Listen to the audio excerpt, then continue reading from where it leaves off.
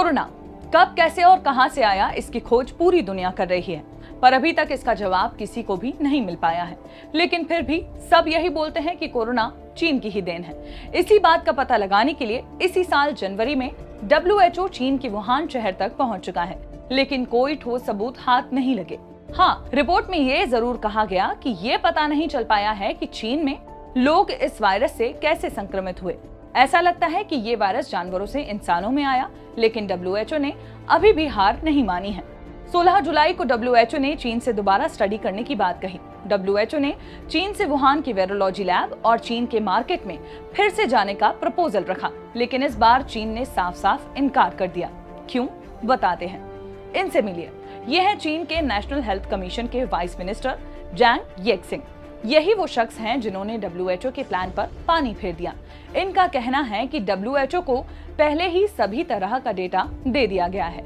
हम उम्मीद करते हैं कि डब्ल्यू चीनी एक्सपर्ट्स के विचारों और सुझावों को गंभीरता से रिव्यू करेगा।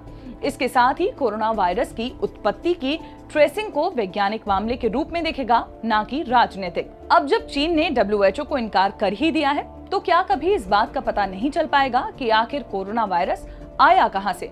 तो ऐसा बिल्कुल भी नहीं है। लेकिन वो कौन है जो अभी भी ये पता कर सकता है?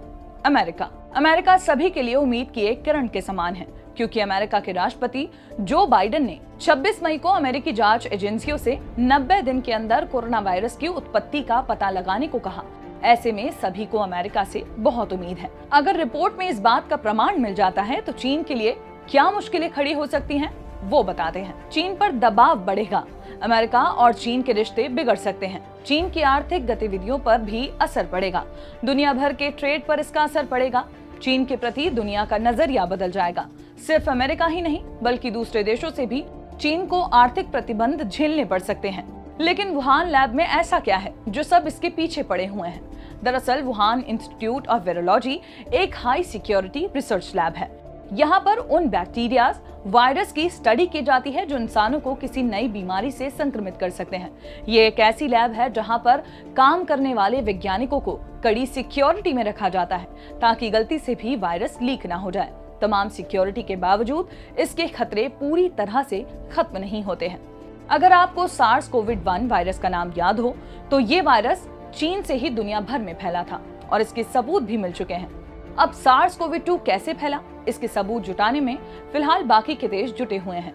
जैसे ही कुछ जानकारी मिलती है, वो हम आप तक ज़रूर पहुंचाएँगे। लेकिन उसके लिए जुड़े रहिए दैनिक भास्कर ऐप के साथ। शेयर और डाउनलोड करें दैनिक भास्कर ऐप।